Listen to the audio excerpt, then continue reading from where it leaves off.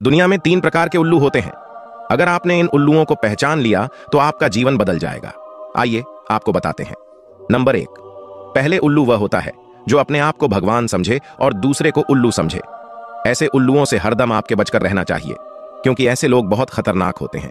Number दो, एक उल्लू वह होता है, जो आपकी पीठ पीछे आपकी बुराई करें, आपको उल्टा सीधा बोले। ऐसे उल्लू बहुत कम पाए जाते हैं तो ध्यान दें, जहाँ भी पाए जाते हैं और जिधर भी पाए जाते हैं उधर आप इनको पहचान लीजिए, तभी आपका भला होगा। तीसरे प्रकार का उल्लू बहुत खतरनाक होता है। ये छोटे कद के होते हैं, ये आपको अचानक नहीं मिलेंगे। इनकी प्रजाति बहुत कम है, लेकिन जहाँ भी मिलेंगे, वहाँ जहर ज़रूर घोलेंगे। इन उल्लुओं से हरदम आपको बचकर रहना है।